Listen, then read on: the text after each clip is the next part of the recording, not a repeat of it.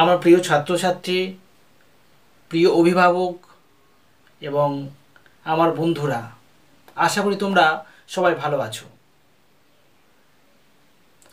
এই লকডাউনের সময়ে আমরা সবাই সরকারের নির্দেশ মানব এবং ঘরে থাকব আর আমরা সবাই সবাইকে সাবধান করব বাইরে না যেতে।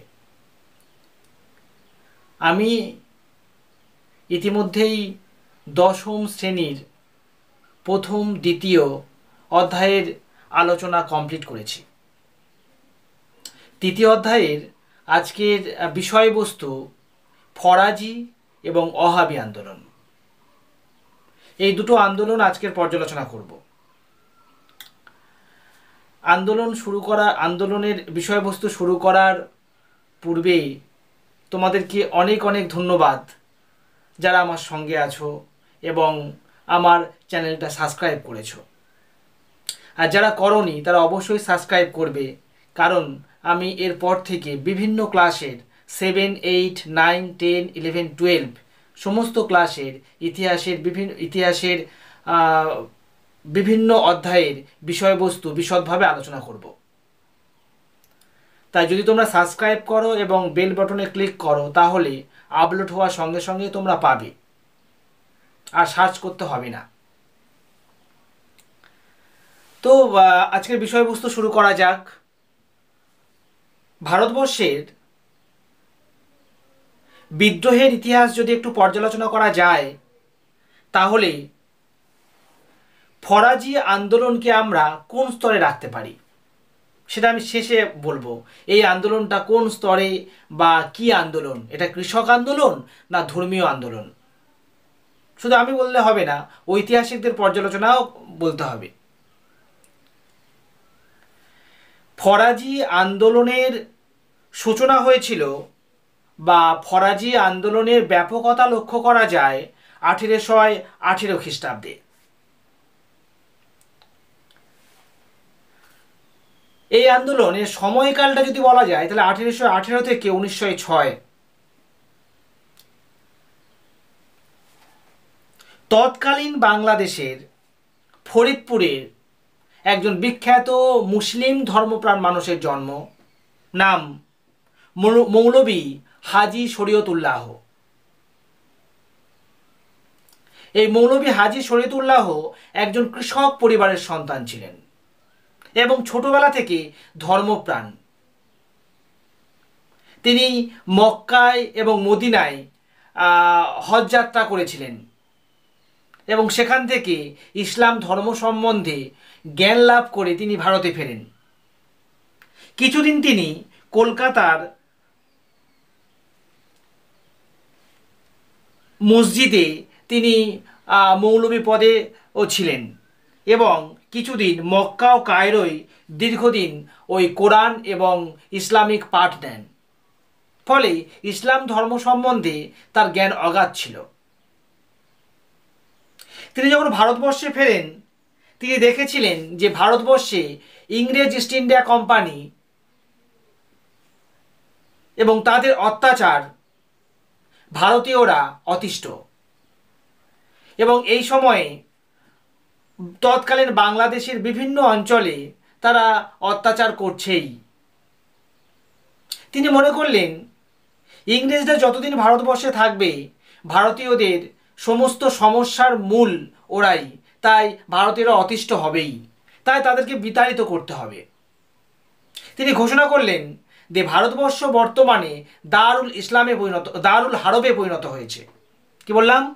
ভারতবর্ষ বর্তমানে দার উল হারবে পরিণত হয়েছে। মানে শত্রুর দেশে পরিণত হয়েছে। দারুল হারব, শত্রুর দেশ।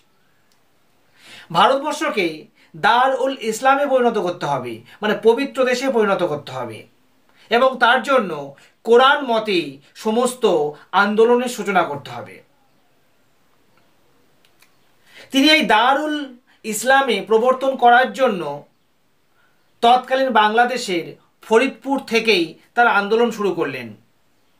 এবং অচিরেই এই আন্দোলন বরিশাল ময়মনসিংহ, ঢাকা, ফরিদপুরের লক্ষ লক্ষ দরিদ্র মুসলিম চাষিরা তারা কিন্তু অংশগ্রহণ করল। কারণ ইংরেজ আশ্রিত জমিদার এবং ইংরেজ কর্মচারীরা এই ওই অঞ্চলের কৃষকদের ওপর যত বেশি অত্যাচার করত।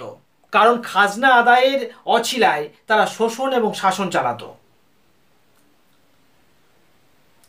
এই যে ফরাজি আন্দোলন, এই ফরাজি আন্দোলনকে তাই আমরা কৃষক আন্দোলন বলতে পারি। কারণ ধর্মীয় আন্দোলন হিসাবে শুরু হলেও মানে মৌলানা হাজি শরীয়তুল্লাহ এটাকে ধর্মীয় আন্দোলন হিসাবে শুরু করলেও, অচিরেই এই আন্দোলনে বেশিরভাগ মানুষ ছিল কৃষক। তাই আমরা এটা কৃষক আন্দোলন বলতে পারি। এই আন্দোলনের ব্যাপকতা মৌলানা হাজি সৈয়দুল্লাহ উল্লাহের সময়ে হয়েছিল। কিন্তু দুঃখের বিষয়, তিনি আঠেরোশো সাঁত্রিশ খ্রিস্টাব্দে মারা যান। তার মৃত্যুর পর তার সন্তান বা সুযোগ্য সন্তান মোহাম্মদ মুসিন বা দুদু মিয়া। তিনি আঠেরোশো সাঁত্রিশ খ্রিস্টাব্দে এই ফরাজি আন্দোলনের নেতৃত্ব নেতৃত্বভার গ্রহণ করেন এবং তিনি সমগ্র অঞ্চলে কৃষকদেরকে ঐক্যবদ্ধ করেন। শুধুমাত্র মুসলিম কৃষকরা নয়, তার সঙ্গে যোগ দিয়েছিল নিম্নবর্ণের হিন্দু কৃষকরা।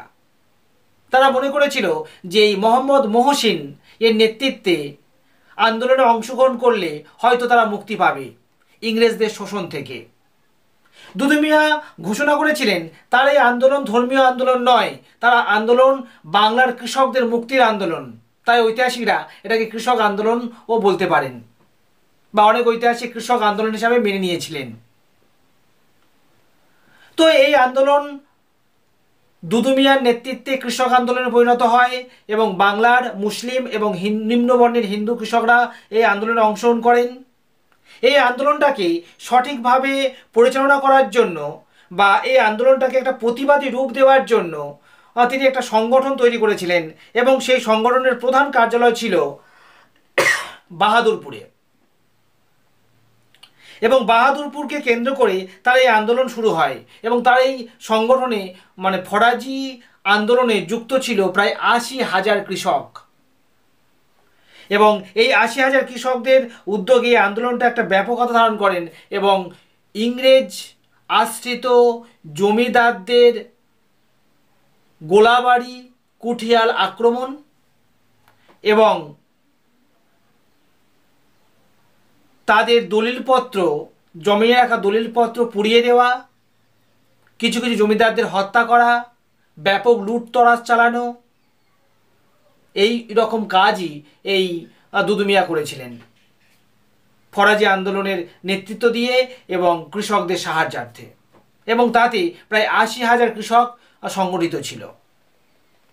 এই আন্দোলন বিস্তৃতি লাভ করেছিল। যেমন বাখরগঞ্জ, কুমিল্লা ময়মনসিংহ, খুলনা, যশোহর, দক্ষিণ চব্বিশ পরগনা।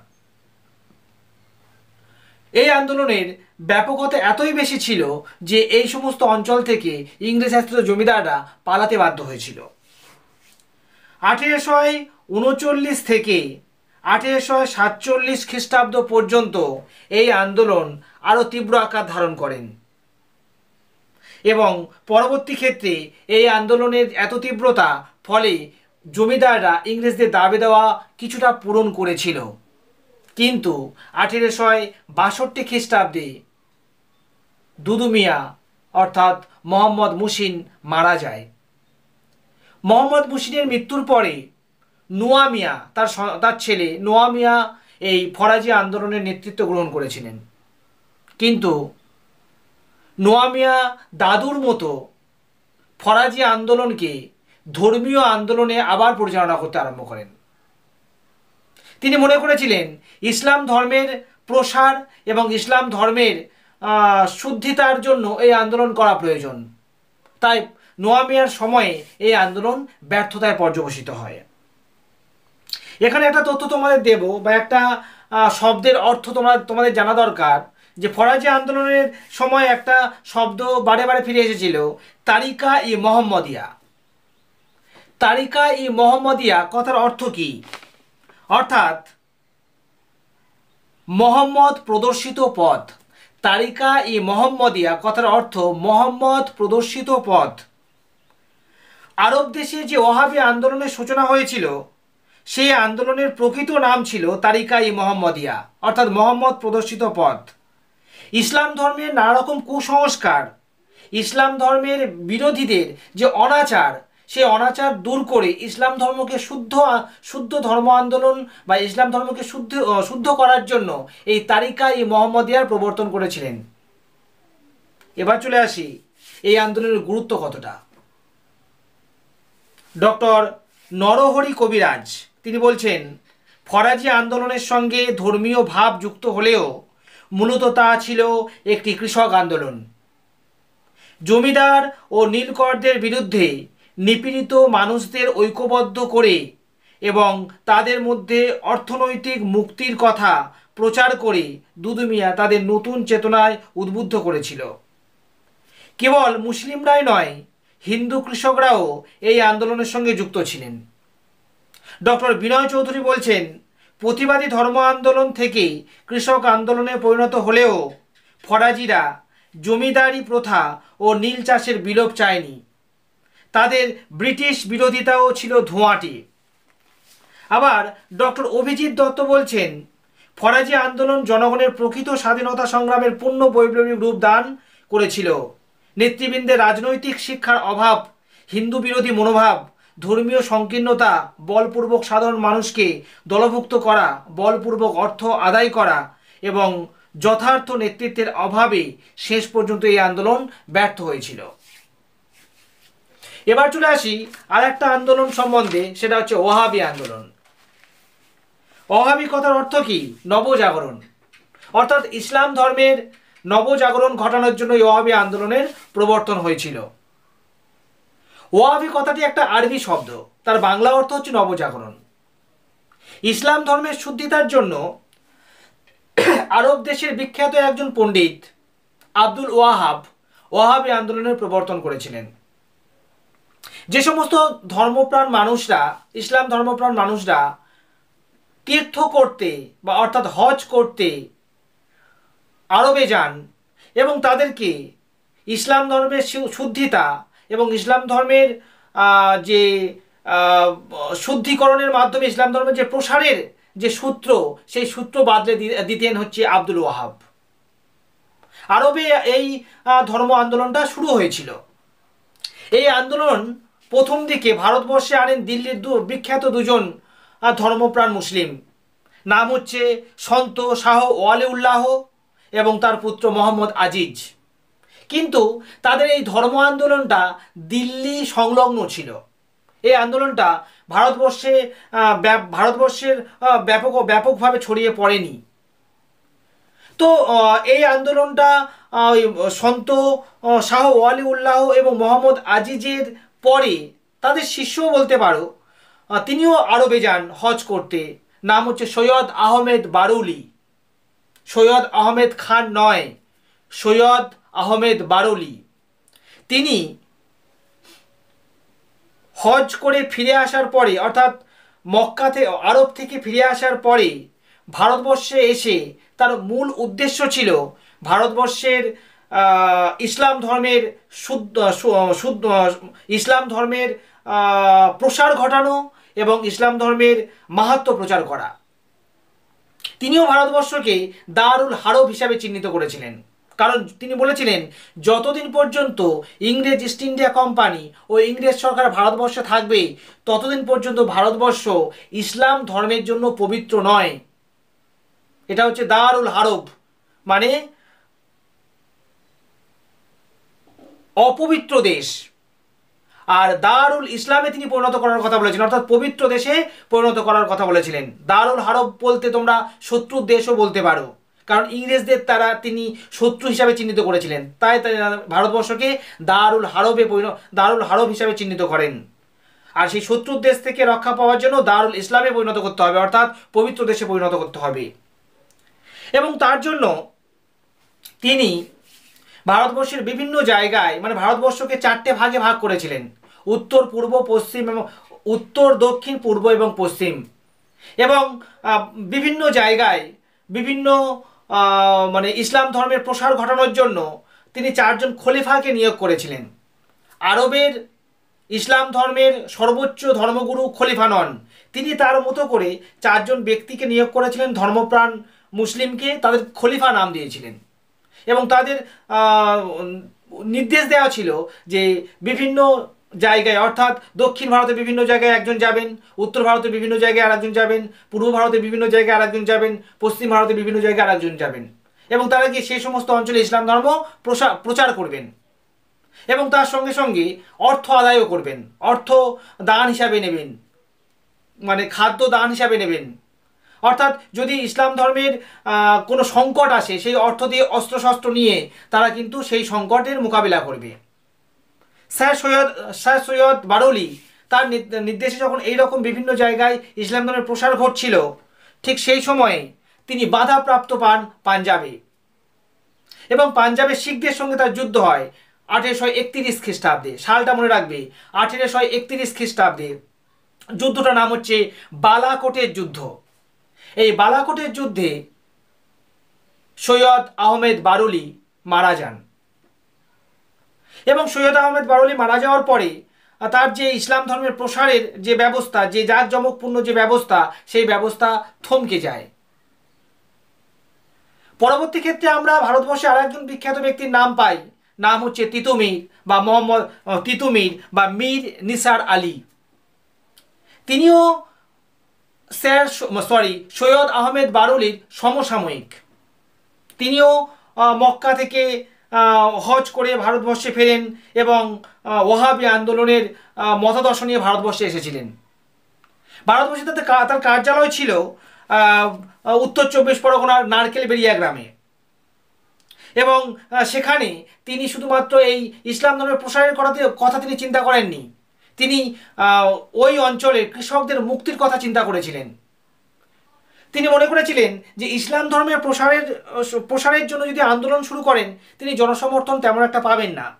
তাই কৃষক আন্দোলনের সঙ্গে সঙ্গে ইসলাম ধর্মের প্রসারের কথা তিনি চিন্তা করেছিলেন এবং তাতে তিনি সফল হন। তিনি সেই সময়ে উত্তর চব্বিশ পরগনার যে সমস্ত জমিদাররা সাধারণ কৃষকদের ওপর অত্যাচার করতেন তাদের বিরুদ্ধে তিনি পদক্ষেপ নিয়েছিলেন।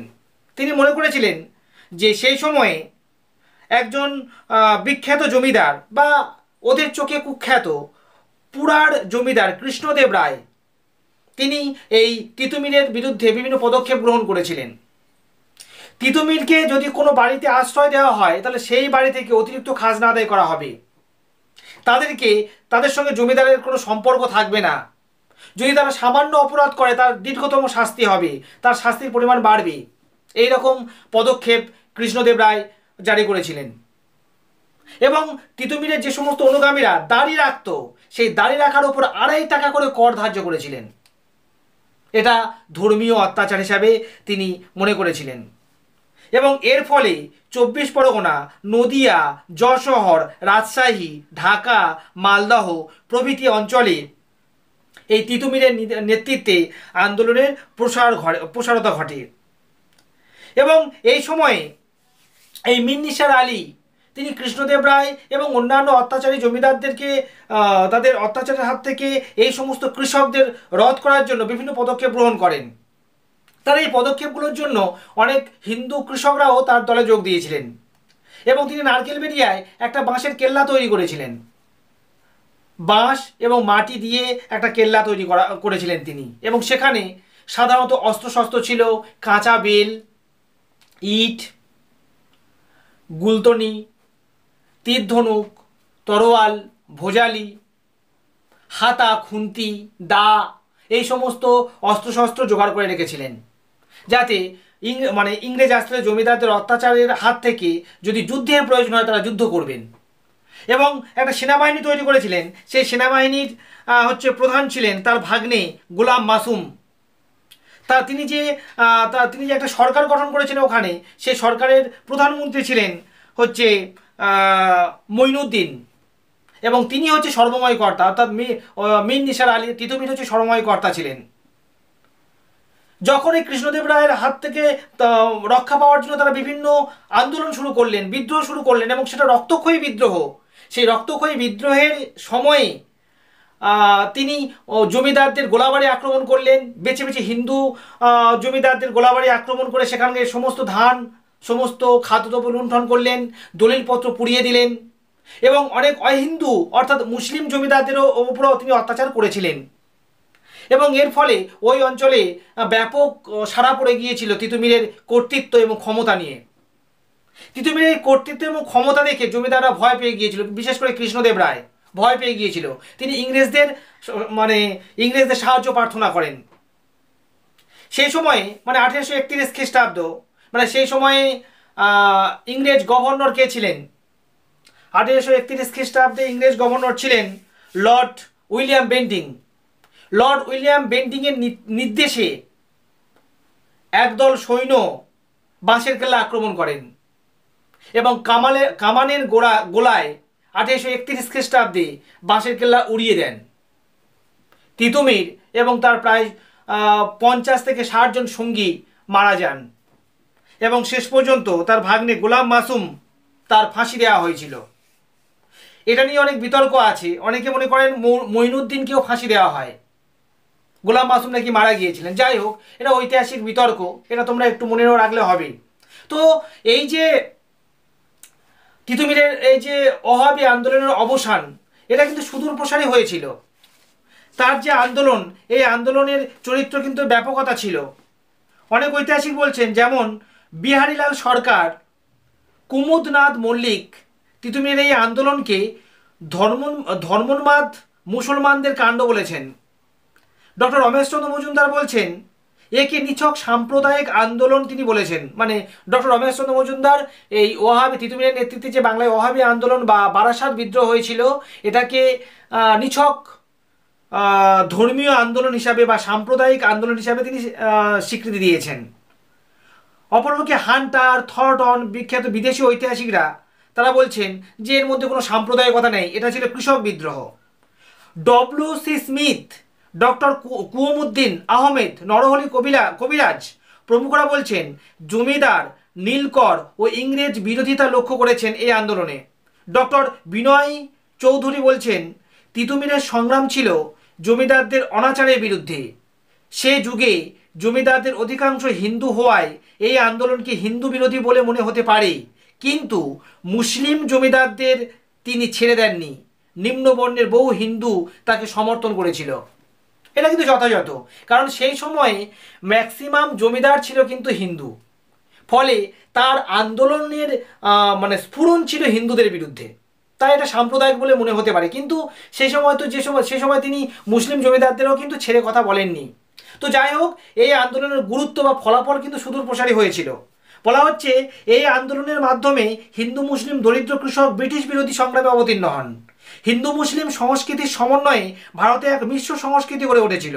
ওহাবি নেতৃবৃন্দ ইসলামের শুদ্ধিকরণের উদ্দেশ্যে পবিত্র কোরআনে প্রত্যাবর্তন এর নির্দেশ দিলে হিন্দু মুসলিম ঐক্যের ফাটল ধরে এবং ভারতে বিচ্ছিন্নতাবাদের প্রসার ঘটতে থাকে। ধর্মাশ্রয়ী রাজনীতির প্রসারের ফলে মুসলিম সমাজের নেতৃত্ব মোল্লা মৌলবীদের হাতে চলে যায়। ভারতের পক্ষে তার ফল শুভ হয়নি। তো ওহাবি আন্দোলনের গুরুত্বটাও তোমাদের কাছে খুবই গুরুত্বপূর্ণ। তার আজকে এত পর্যন্ত, অবশ্যই তোমরা ভালো করে দেখবে এবং বারবার এটা পড়বে, বইটাও ভালো করে পড়বে, পড়লে কিন্তু আশা করি পরীক্ষার সময় অসুবিধা হবে না। এবং যারা কম্পিটিটিভ পরীক্ষা দেবে লকডাউনের পরে, তাদেরও কিন্তু এখান থেকে বিভিন্ন তথ্য, তাদেরও লাগবে। তারাও অবশ্যই দেখবে এবং সাবস্ক্রাইব করবে। ঠিক আছে?